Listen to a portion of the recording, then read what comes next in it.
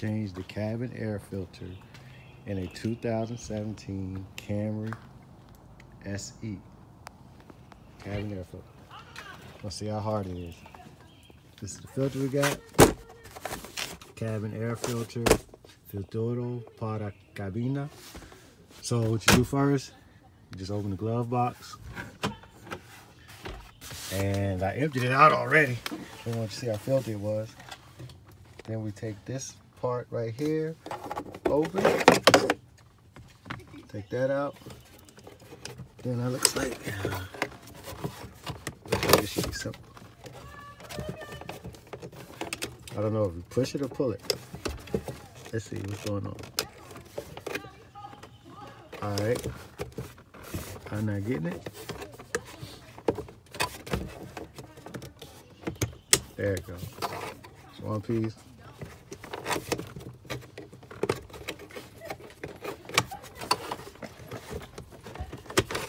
All right, there it is.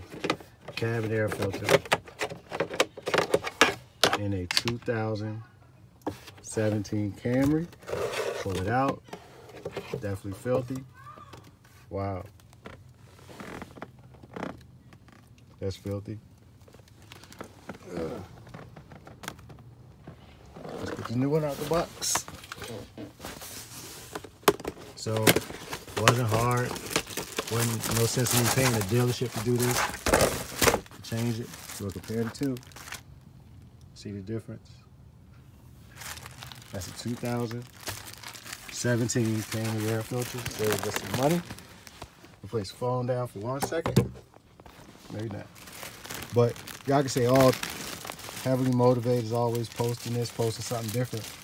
The reason I do this is because, like I always say, it's levels to this. Like, I can motivate you, just inspire you and all that, but I want to let you know that it's just so much to being a well-rounded person. There's so much you have to do this.